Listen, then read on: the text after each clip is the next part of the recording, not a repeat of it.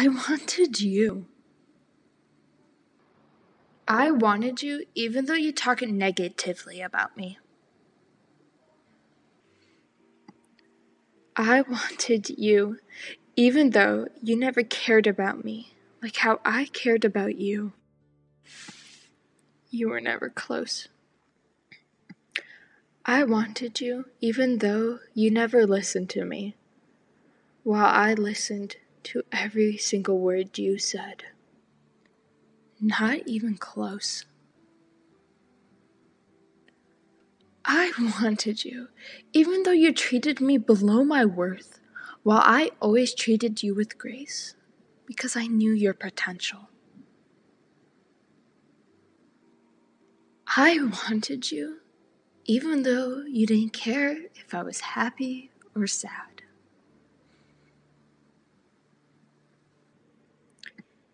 If I cried myself to sleep or not, you didn't want to know.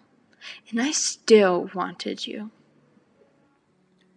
I wanted you, even though when you left, my world fell apart for a while. But guess what? I don't want you anymore.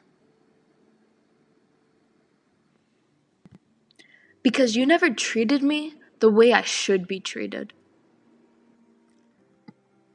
I know my self worth now, and you can never take that from me, even though I may wonder where you are from time to time. Even wonder how you are doing, but it doesn't mean I want you, because I don't.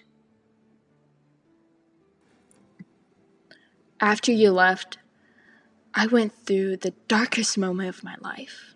But that's okay, since I found myself. No thanks to you. I found my self worth and realized that the way you treated me is a way that no one should ever be treated.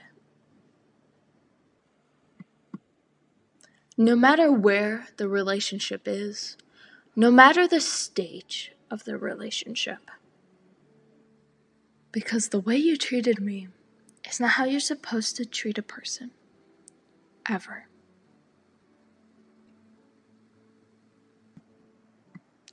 So, just to clarify, I don't want you. And thank you for the lessons I learned from you. I learned that I should be treated with respect because I am not an object that you get to play around with.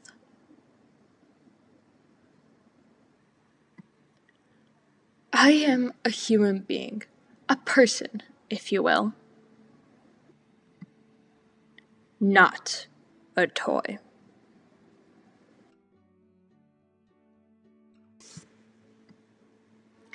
Thank you for watching my video and be sure to visit my other social media accounts.